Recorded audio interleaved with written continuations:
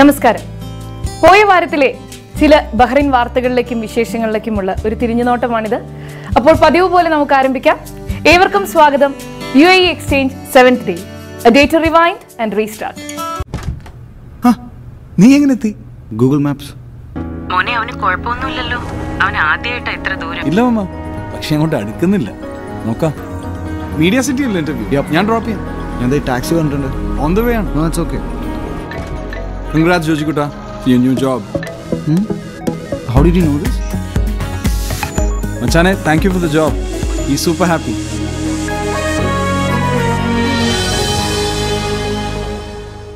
you a exchange seventh ഡേയിൽ ആദ്യം x-ray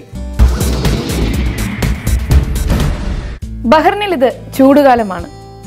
ഓരോ വേനൽക്കാലത്തും ആഘോഷങ്ങളുടെ വിസ്മയങ്ങൾ തീർക്കുന്ന ബഹ്റിൻ സമ്മർ ഫെസ്റ്റിന് തുടക്കമായത് പോയ വാരമാണ്. ആ വിശേഷങ്ങളാണ് ആദ്യം.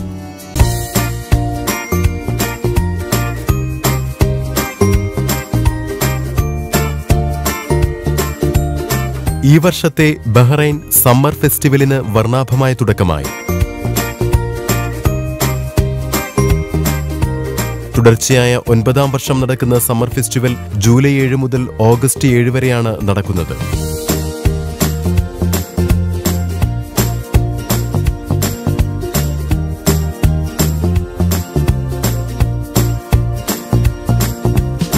Bahrain authority for culture and ആന്റിക്വിറ്റീസിന്റെ ആഭിമുഖ്യത്തിൽ സംഘടിപ്പിച്ചിരിക്കുന്ന സമ്മർ ഫെസ്റ്റ് ബഹ്റൈൻ ഫോർട്ടിന് സമീപം പ്രത്യേകം തയ്യാറാക്കിയ നഖൂൾ ടെന്റിലാണ് നടക്കുന്നത്.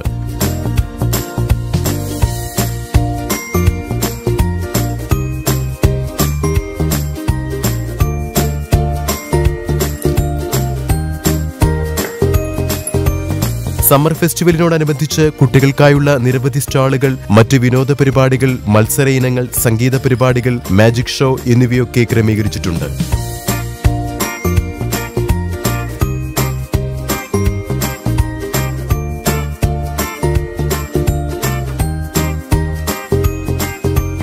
വിവിധ രാജ്യക്കാർ അണിനിരക്കുന്ന ബഹ്റൈൻ മ്യൂസിക് ഇൻസ്റ്റിറ്റ്യൂട്ടിന്റെ നേതൃത്വത്തിലുള്ള സംഗീത പരിപാടി ആദ്യ ദിനം കാണികളെ ആകർഷിച്ചു.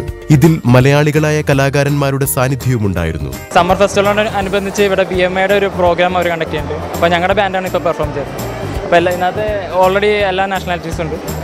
എല്ലാം പല സ്റ്റൈലാണ് ശരിക്കും മ്യൂസിക് ഇപ്പോൾ നമ്മുടെ ഇന്ത്യയിലാണെങ്കിൽ ഇന്ത്യൻ സ്റ്റൈൽ വരണുണ്ട് ഇപ്പോൾ അറബിക്ക് അറബിക് സ്റ്റൈൽ പങ്കെടുക്കാൻ കഴിഞ്ഞാൽ ഒരുപാട് സന്തോഷം ഭാഗ്യം. ഇത് ബാറിൻ മ്യൂസിക് ഇൻസ്റ്റിറ്റ്യൂട്ടിന്റെ ഒരു ബാൻഡാണ് എല്ലാ ഇവിടെ എല്ലാ സ്ഥലത്തും പ്രോഗ്രാം ചെയ്യാറുണ്ട്. നല്ലൊരു സന്തോഷമുണ്ട്. ഒരു ഓപ്പർച്യൂണിറ്റി ഓഫ് ലൈഫ് ടൈമാണ്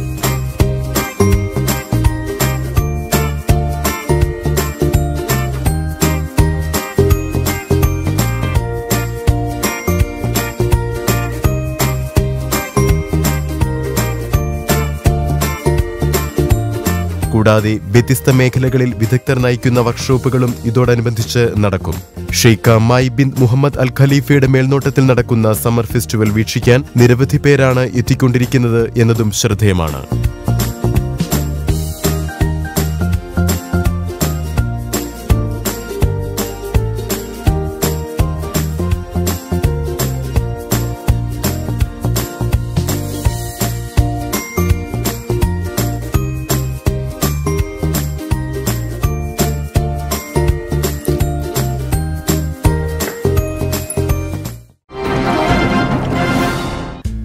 അനുഗ്രഹീതരായ നിരവധി ഗായകരുണ്ട് നമുക്ക്.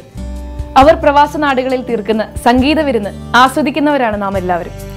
പോയ വാരം ബഹ്റിനിലെത്തിയ നമുക്ക് പ്രിയപ്പെട്ട രണ്ട് ഗായകരുടെ വിശേഷങ്ങൾ കാണാം. സോദരത്വേന വാഴുന്ന മാതൃകാ സ്ഥാനമാണിത്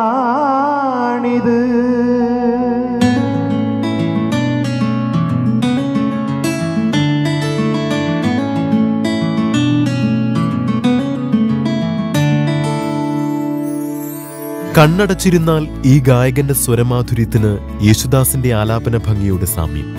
എന്നാൽ അത് അനുകരണമല്ല തന്നെ. ആ സാമ്യം ഒരു മഹാഭാഗ്യമെന്ന് കരുതുന്ന ഈ ഗായകന് കലാസ്വാദകർക്ക് മുന്നിൽ ഒരാമുഖത്തിന്റെ ആവശ്യവുമില്ല. ഇത് കൊല്ലം അഭിജിത്ത്.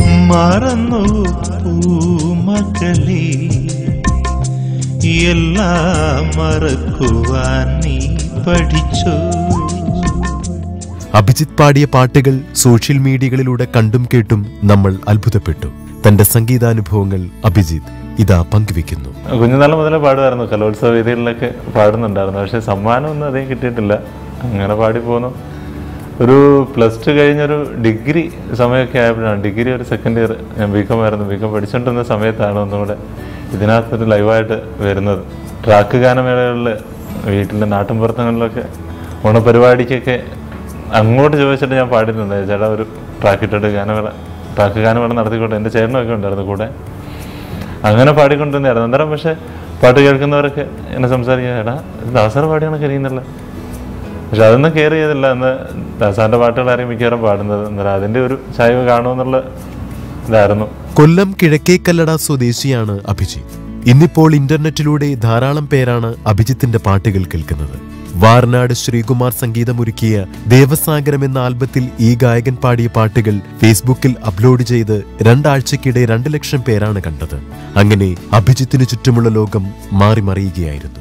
ഗജരാജ കലയുടെ നീ ഉമയ്ക്കും മഹേശ്വരനും പൊന്മകനേ വിഘ്നങ്ങൾ ഒഴിയാനായി വീരവിനായക ഒരു നാളികേരമിന്നുടയ്ക്കുന്നു ഞാൻ. ഒരു നാളികേരമിന്നുടയ്ക്കുന്നു ഞാൻ. ഇന്നിപ്പോൾ വേദികൾ ധാരാളം പിന്നിട്ട് കഴിഞ്ഞു ഈ കലാകാരൻ.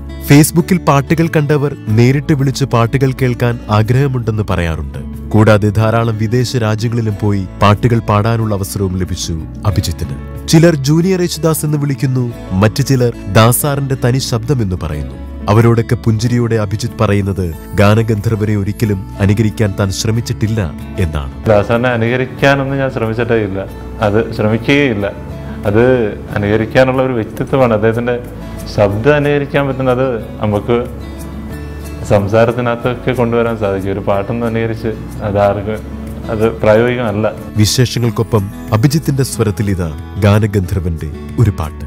തീരങ്ങളിൽ ബാഷ്പദീപങ്ങളിൽ ഓരിതൾ നാളമായി നൊമ്പരം ആ മൂവന്തിയായി പകലിൻ രാവിൻ വിരൽ സ്പർശനം. കേരളത്തിലെ പല പ്രശസ്തരായ ഗാനമേള ട്രൂപ്പുകൾക്കായി ധാരാളം വേദികളിൽ അഭിജിത്ത് പാടിയിട്ടുണ്ട്. ഇന്നിപ്പോൾ അഭിജിത്ത് സന്തോഷത്തിലാണ്. തമിഴ് മലയാളം സിനിമകളിൽ പാടി. ഇനിയും ധാരാളം ഓഫറുകൾ ഉണ്ട് താനും. സംഗീതരംഗത്തും തനിക്ക് പ്രോത്സാഹനമേകുന്നവരെ നന്ദിയോടെ സ്മരിക്കുന്നു ഈ കലാകാരൻ. ശൃംഗാര ശീൽക്കാര ശശകങ്ങളിണ ചേരും.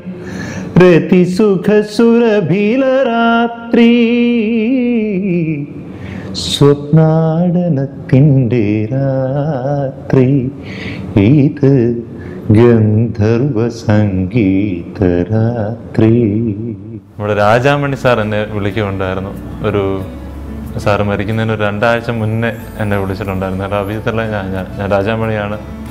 നമുക്കൊരു വർക്ക് ചെയ്യാനുണ്ട്. ഞാൻ നിങ്ങളുടെ പാട്ടുകൾ ഒരു ഒരുപാട് കേട്ടിട്ടുണ്ട്. നമുക്കൊരു വർക്ക് ചെയ്യാം. ഞാൻ അടുത്ത് തന്നെ നമുക്കൊരു ഫിലിമിന്റെ ഒരു ചാൻസ് ഉണ്ട്. അഭിജിത്തിന് തിരുന്നയായിരിക്കും എന്ന് പറഞ്ഞ് എന്റെ അടുത്ത് സംസാരിച്ചിട്ടുണ്ടായിരുന്നു. അത് വലിയൊരു ഭാഗ്യമായിട്ട് ഞാൻ കരുതുന്നു.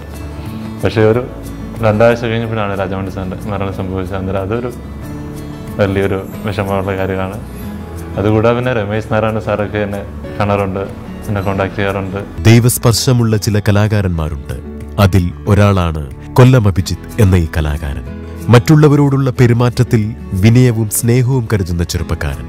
പിന്നണി ഗാനരംഗത്ത് ഈ കലാകാരന്റെ നാളുകൾ ഇനിയും വരാനിരിക്കുന്നതേയുള്ളൂ എന്ന് നിസ്സംശയം നമുക്ക് പറയാം.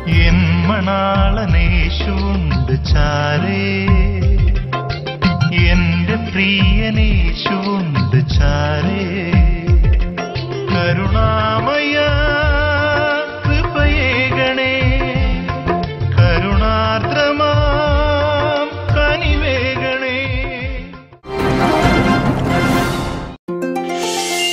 സ്വപ്ന നഗരമായ ബഹറിനിൽ ഞാനൊരു വീട് വാങ്ങാൻ തീരുമാനിച്ചു. ഇപ്പോൾ അത് വളരെ ഈസിയാണ്.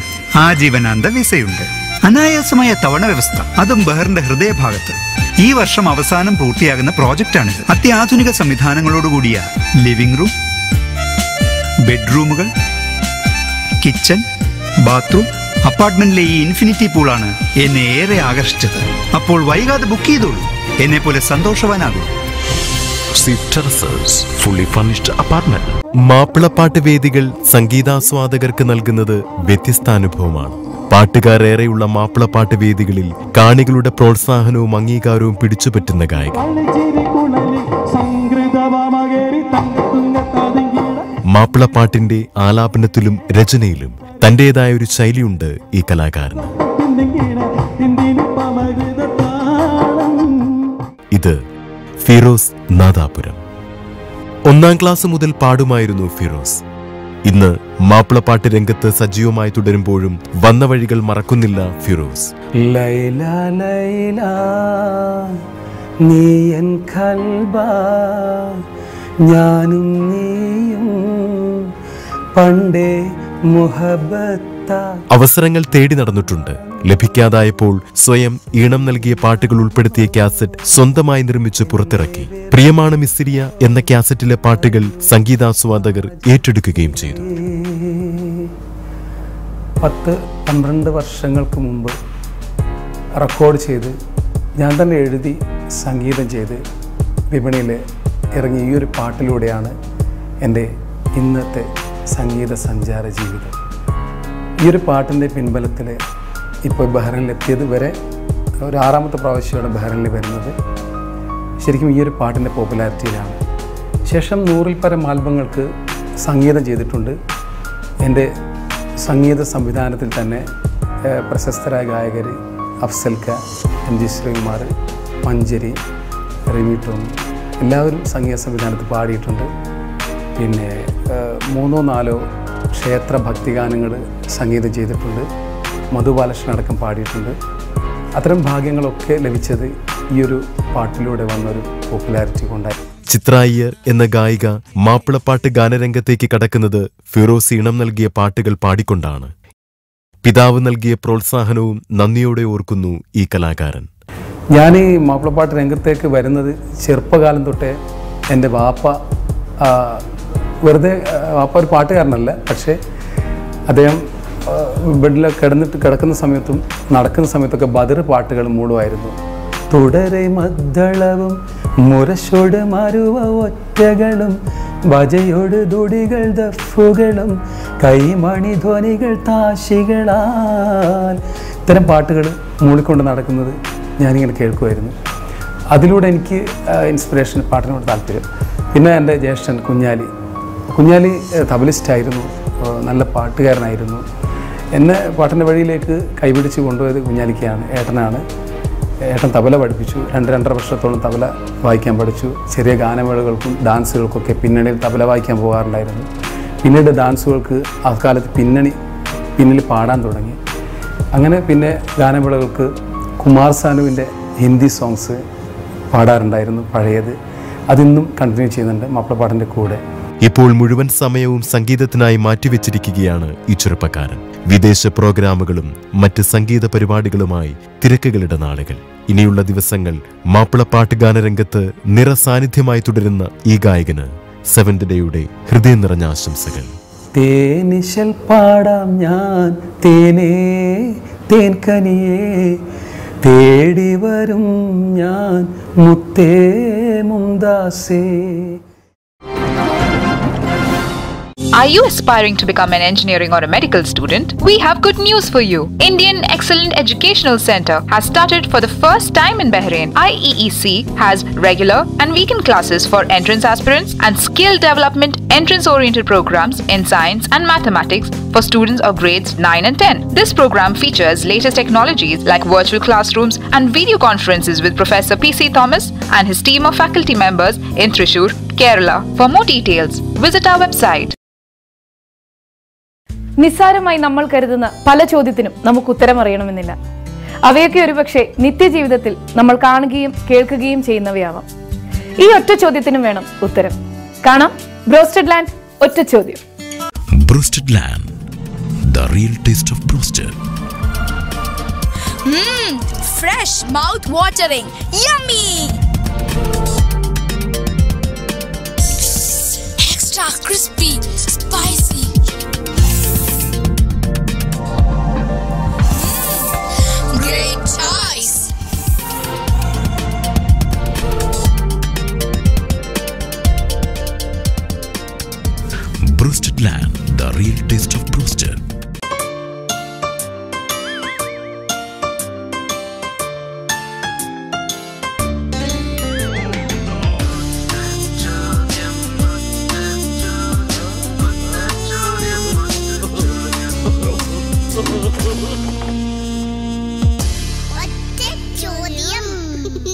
നമസ്കാരം. ബ്രോസ്റ്റലാണ്ട് ഒറ്റ ചോദ്യമായിട്ട് നമ്മൾ ഇപ്പോൾ മുറക്കിലാണ് നിൽക്കുന്നത്. മുറക്ക് നമ്മൾക്ക് ചോദിക്കാനുള്ള ചോദ്യം ഇതാണ്. ദിവസത്തിൽ ഇരുപത് മണിക്കൂറും ഉറങ്ങുന്ന ഒരു മൃഗമുണ്ട്. ആ മൃഗം ഏത് എന്നുള്ളതാണ് നമ്മുടെ ചോദ്യം. നമുക്ക് നോക്കാം. ഇവിടെ ആരെങ്കിലും ഉത്തരം പറയും ഇത് നമ്മുടെ ഒരു മനോഹരമായ സ്വർണക്കടലാണ് നിൽക്കുന്നത്. എന്താ പേര്? രഞ്ജിത്ത്. നാട്ടിൽ? നാട്ടിൽ കണ്ണൂർ പയ്യന്നൂർ കണ്ണൂർ പയ്യന്നൂർ കണ്ണൂർ പയ്യന്നൂരുകാരനാണ്. രജിത്ത് എത്ര മണിക്കൂർ ഉറങ്ങാറുണ്ട്? ഞാനിപ്പോൾ അഞ്ച് പത്ത് മണിക്കൂർ പത്ത് മണിക്കൂർ വരെ ഉറങ്ങാറുണ്ട് അല്ലേ അടിപൊളി ഉറക്കം തന്നെ. ഓക്കെ ഒരു ഒരു ദിവസത്തിൽ ഇരുപത് മണിക്കൂർ ഉറങ്ങുന്ന ഒരു മൃഗമുണ്ട്. ഇരുപത് മണിക്കൂർ ഉറങ്ങുന്ന മൃഗം? ആകെപ്പാടെ നാല് മണിക്കൂർ അത് ഉണർന്നിരിക്കാറ് അറിയില്ല. സോറി അതിനൊരു ഭാഗത്തൊക്കെ ഉണ്ടാവുമോ? ഏ. അറിയില്ല. എന്റെ പേര്? സെൽവരാജ്. സെൽവരാജ് ഫ്രം നേറ്റിങ്ങര. നേറ്റിങ്ങര നമ്മുടെ ബോർഡറാണ്. സുഖം ജോലി ജോലിയൊക്കെ കഴിഞ്ഞ് വരുവാന്ന് തോന്നുന്നല്ലോ ആ ജോലി കഴിഞ്ഞു. ചൂട് ഉഷാറല്ലേ? ഓക്കെ ശിലരാജനോട് ചോദ്യം. ഒരു മൃഗത്തിന് ഇരുപത് മണിക്കൂർ വരെ ഉറങ്ങാൻ പറ്റും. ഇരുന്ന് ഇരുപത്? ഇരുപത് മണിക്കൂർ. ഡെയിലി ഒരു ദിവസത്തിൽ ഇരുപത് മണിക്കൂർ വരെ ഉറങ്ങും. ഏത് മൃഗമാണ് ഏത് മൃഗം? എന്നാടാ ചോദിക്കുന്നത് ഉത്തരം അറിയോ ഇല്ല അറിയില്ല. എന്തെങ്കിലും ഊഹം? ഇരുപത് മണിക്കൂർ. പ്രബിൻ പ്രബിൻ അടിപൊളി പേരാണല്ലോ. നാട്ടിലെവിടെയാ? കോഴിക്കോട് പയ്യോളി. പ്രബിൻ എത്ര മണിക്കൂർ വരെ ഉറങ്ങും ഒരു ദിവസം? ഒരു ദിവസം മാക്സിമം അഞ്ചര മണിക്കൂർ അഞ്ച് മണിക്കൂർ. അഞ്ചര അഞ്ച് മണിക്കൂർ ഉറങ്ങും. ഓക്കെ നമ്മൾ സാധാരണ അഞ്ചര മണിക്കൂർ ആറ് മണിക്കൂർ ഒരു ഒരു മൃഗം ഇരുപത് മണിക്കൂർ വരെ ഉറങ്ങും. അതെനിക്കറിയില്ല. എന്നാലും ഏതായിരിക്കും വല്ല പിടിയുണ്ടോ? ആന? എനിക്കറിയില്ല. ഓക്കെ താങ്ക് യു നമുക്ക് ഈ മൃഗം കൊണ്ട് പെട്ടെന്ന് പറയാമെന്ന് വിചാരിച്ചിരുന്ന ചോദ്യമാണ്. പക്ഷേ ഇപ്പോൾ കുറച്ചുപേര് പെട്ടുപിരിക്കുകയാണ് നമുക്ക് നോക്കാം ഇവിടെ ആരെങ്കിലും ഉത്തരം പറയുമോ എന്ന് നോക്കാം. ഒരു ജ്വല്ലറി ഷോപ്പിൽ എത്തിയിരിക്കുകയാണ്. രണ്ടും മലയാളി ചേട്ടന്മാരാണ് വിളിക്കുന്നത്. പേര് ചോദിക്കാം. എന്താ? നോക്കൽ ഫ്രം? കണ്ണൂർ. കണ്ണൂരുകാരനാണ്. ഇവിടെ. പട്ടാമ്പി. പട്ടാമ്പി. സുഖം തന്നെ. നൗഫൽ ഒരു ദിവസം എത്ര മണിക്കൂർ ഉറങ്ങാറുണ്ട് ഈ എട്ട് മണിക്കൂറൊക്കെ ഉണ്ടാവും. നമ്മളെ ആരോഗ്യം കൃത്യമായിട്ട് ക്ലാസ് എട്ട് മണിക്കൂർ നമ്മൾ എന്തെങ്കിലും ഉറങ്ങും ഇവിടെ അഞ്ചര ആറ് മണിക്കൂർ എന്നാലും ഒരു മൃഗം ഇരുപത് മണിക്കൂർ ഉറങ്ങും ദിവസത്തിൽ.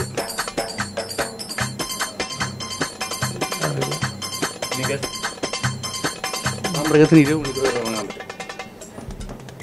മുതല?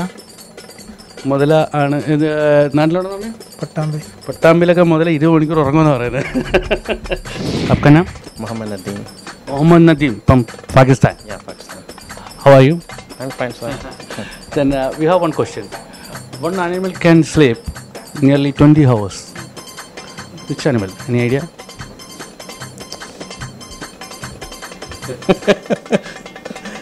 no chance. No chance. Any guess? Uh, I don't know. No. നമസ്കാരം എന്താ പേര് അലേക്ക് അലേക്ക് അടിപൊളി ഒരു സ്വർണക്കടയിലാണ് അലേക്ക് നിൽക്കുന്നത്. നാട്ടിൽ നാട്ടിൽ തലശ്ശേരി. തലശ്ശേരിക്കാരനായ അലേക്ക് കണ്ണൂർ കണ്ണൂർ. ഓക്കെ. അല്ലേക്ക് ഒരു ദിവസം എത്ര മണിക്കൂർ ഉറങ്ങാറുണ്ട്? ഒരു ആറര ഉണ്ടോ ആറര മണിക്കൂർ ഉറങ്ങും. ഒരു ദിവസത്തിൽ ഏകദേശം ഇരുപത് മണിക്കൂർ ഉറങ്ങാൻ പറ്റുന്ന ഒരു മൃഗമാണ് അതേതാണ് അറിയില്ല കേട്ടാ ഇരുപത് മണിക്കൂർ ഉറങ്ങുന്നത് സിംഹമാണോ? എങ്ങനെ ഒപ്പിച്ചു അറിയില്ല കാണാണ് ചോദ്യത്തിന്റെ ഇത്തവണത്തെ ചോദ്യം. ഒരു ദിവസത്തിൽ ഇരുപത് മണിക്കൂർ വരെ ഉറങ്ങാൻ കഴിയുന്ന ഒരു മൃഗം ഏതെന്നായിരുന്നു? അതിന് കൃത്യമായ ഉത്തരം സിംഹം എന്നുള്ള ഉത്തരം പറഞ്ഞത് അലേക്കാണ് തലശ്ശേരിക്കാരൻ. തലശ്ശേരിക്കാരൻ അലേക്കിന് സാൻഫോർഡ് നൽകുന്ന സാൻഫോർഡ് നൽകുന്ന ഒരു സമ്മാനമുണ്ട്. തീർച്ചയായിട്ടും.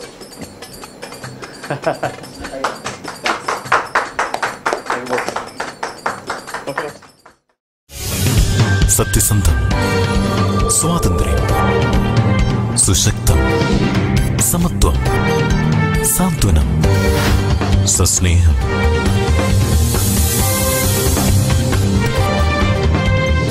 ന്യൂസ്. ഇന്ത്യയ്ക്ക് പുറത്തെ ആദ്യത്തെ സായാഹ്ന സ്വതന്ത്ര ദിനപത്രം. വാർത്തകൾ നൽകാൻ one seven five seven nine eight nine seven വരിക്കാരാകാൻ one seven five seven nine eight six nine പരസ്യം നൽകാൻ one seven five seven double nine one five ഇന്ന് തൊട്ടടുത്ത് നമ്മോടൊപ്പം ഉള്ളത് മലയാളത്തിന്റെ പ്രിയ സംവിധായകൻ Shri Shajoon കരിയലാണ്. Twenty four frames readers forum സംഘടിപ്പിച്ച് ഒരു ചലച്ചിത്ര ക്യാമ്പിൽ പങ്കെടുക്കാനായാണ് അദ്ദേഹം ബഹ്റിനിൽ എത്തിച്ചേർന്നത് അപ്പോൾ കാണാം മിഡിൽ ഈസ്റ്റ് ഹോസ്പിറ്റൽ തൊട്ടടുത്ത്. നിങ്ങളുടെ ആരോഗ്യം നിങ്ങളുടെ സമ്പത്ത് ബഹ്റൈനിലെ ആതുര സേവന രംഗത്ത് അത്യാധുനിക ചികിത്സാ സംവിധാനങ്ങളോടെ പ്രവർത്തിക്കുന്ന മൾട്ടി സ്പെഷ്യാലിറ്റി ഹോസ്പിറ്റൽ. ഇരുപത്തിനാല് മണിക്കൂറും സേവനം നൽകാൻ സജ്ജമായ അത്യാഹിത വിഭാഗവും ഫാർമസിയും സേവന സന്നദ്ധരായി പ്രഗത്ഭ ഡോക്ടർമാരും പാരാമെഡിക്കൽ ജീവനക്കാരും കൂടാതെ നിരവധി വിഭാഗങ്ങളും ആധുനിക സൗകര്യങ്ങളോടെയുള്ള car പാർക്കിംഗും Middle East Hospital Middle East Medical Centre Kingdom of Bahrain trusted health care for life. ഞങ്ങളുടെ ഈ കരുതൽ നിങ്ങൾക്ക് സാന്ത്വനമാകുമ്പോൾ.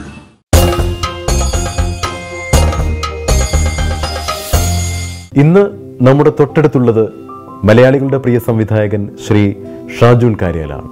നമുക്ക് അദ്ദേഹത്തെ ഒരുപാട് സ്നേഹത്തോടെ സ്വാഗതം ചെയ്യാം. സെവന്ത് ഡേയിലേക്ക്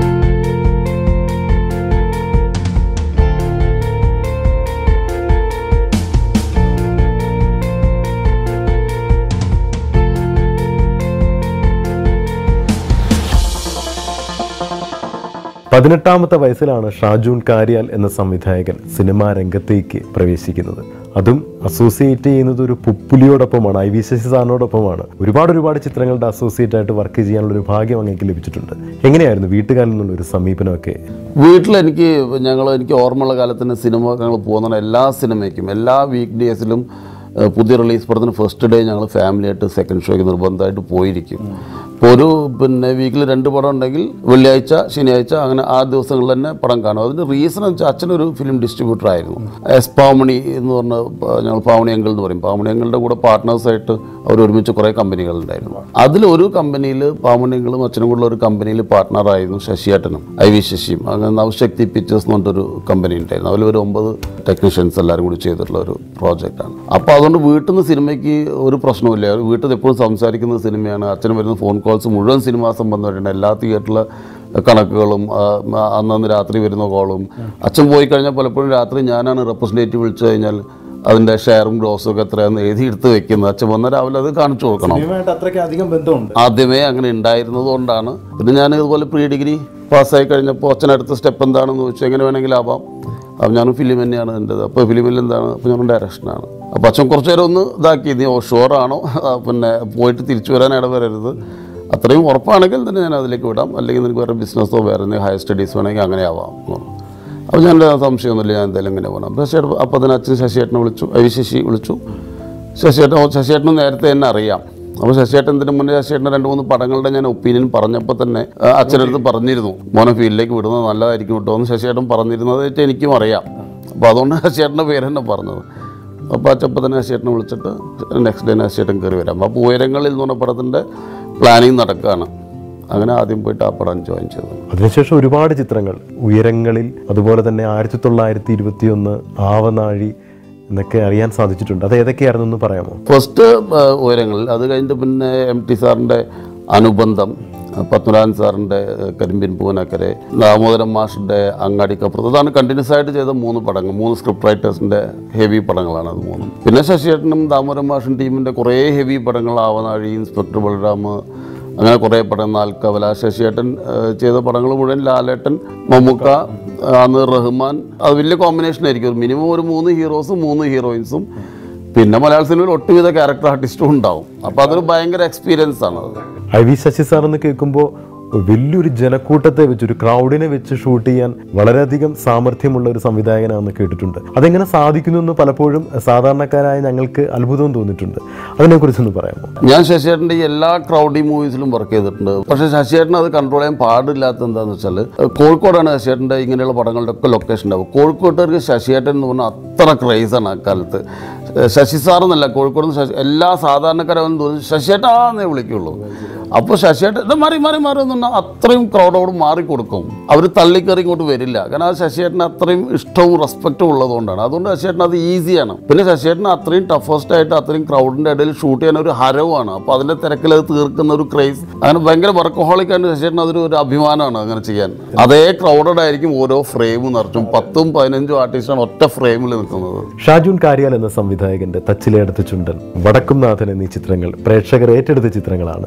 ഒരാഗ്രഹം ഒന്ന് അറിയുവാൻ വേണ്ടിയിട്ടാണ്. മമ്മുക്ക മോഹൻലാൽ. എങ്ങനെയായിരുന്നു അവരോടൊപ്പം പ്രവർത്തിച്ചപ്പോഴുള്ള എക്സ്പീരിയൻസ് അതൊന്നും അറിയണമെന്നൊരു വലിയൊരു ആഗ്രഹമുണ്ട്. രണ്ടുപേരും എന്റയർലി ഡിഫറെന്റ് ആണ് അപ്രോച്ചിങ് രീതിയിൽ ഇപ്പോൾ മമ്മുക്ക കുറച്ചുകൂടി എന്താ പറയുക ഒരു വലിയേട്ടൻ സ്വഭാവം കാണിക്കുന്ന ആളാണ്. മമ്മൂക്ക ചിലപ്പോൾ നമ്മൾ മമ്മുക്കൊക്കെ ഇഷ്ടമല്ലാത്തത് മമ്മൂക്ക കൺവിൻസിങ് ആവാത്ത കാര്യം നമ്മൾ ശരിക്കും ചീത്ത പറയും.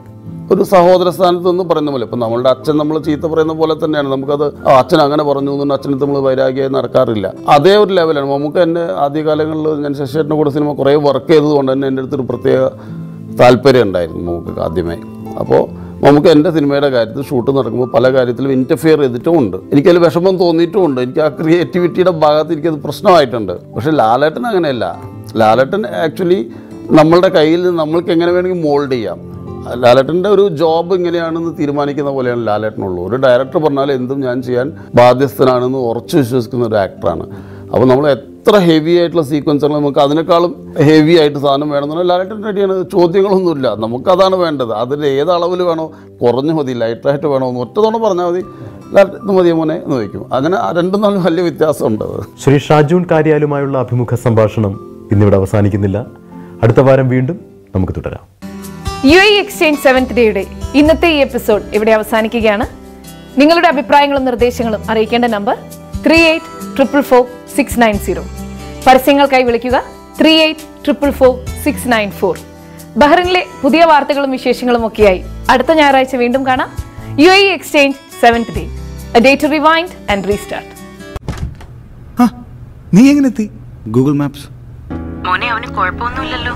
അവൻ ആദ്യമായിട്ടാ ഇത്ര ദൂരം. ഇല്ല പക്ഷെ അങ്ങോട്ട് അടുക്കുന്നില്ല. നോക്കാം. മീഡിയ സിറ്റി അല്ലേ ഇന്റർവ്യൂ ഞാൻ ഡ്രോപ്പ് ചെയ്യാം. ഞാൻ ടാക്സി കണ്ടിട്ടുണ്ട് ഓൺ ദ വേ ആണ്. It's okay congrat congrats ജോജിക്കുട്ട you new job how did you know this മച്ചാനെ thank you for the job ഈ സൂപ്പർ ഹാപ്പി